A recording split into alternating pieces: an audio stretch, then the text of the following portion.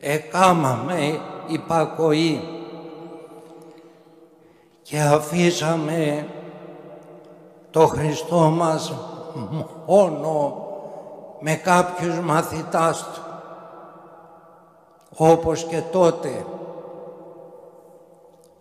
Και εξήλθαν με τα μαχαιρών και ξύλων να συλλάβουν τους προσκυνητάς. Εξέφνης η πατρίδα μας έβρε χιλιάδες αστυνομικούς.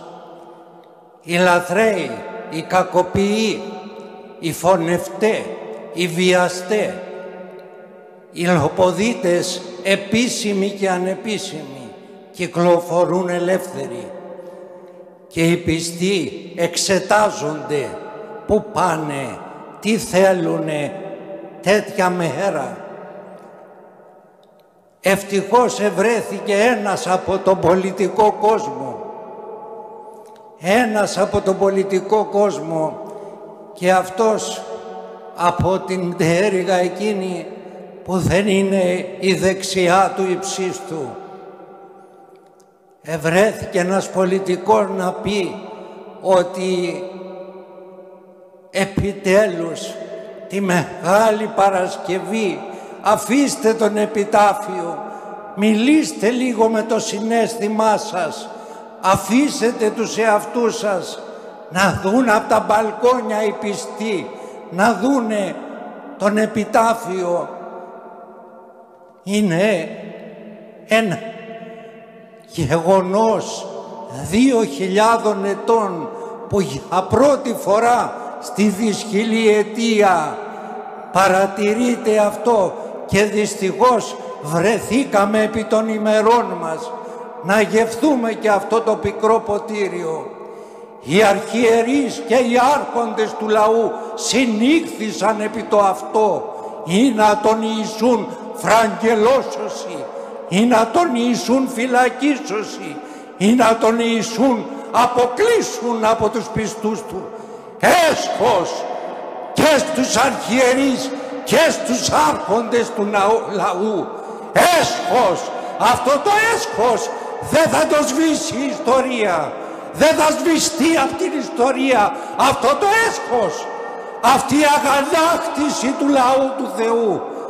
Θα έρθει η οργή και η κατάρα του Θεού στα κεφάλια όλων εκείνων που απεφάσισαν να στερήσουν το σώμα και το αίμα του Κυρίου από τους πιστούς αρκετοί από τους οποίους έκαναν αγώνα επί ένα έτος με τα επιτήμια τους για να κοινωνήσουν στην Ανάσταση. Έσχος που κατήντησε η Εκκλησία της Ελλάδος. Έσχος, ντρέπομαι, ντρέπομαι, απορώ και δεν εξίσταται ο λαός. Μας έχουν φυλακίσει με απάτη για μία γρήπη. Όλοι το λένε.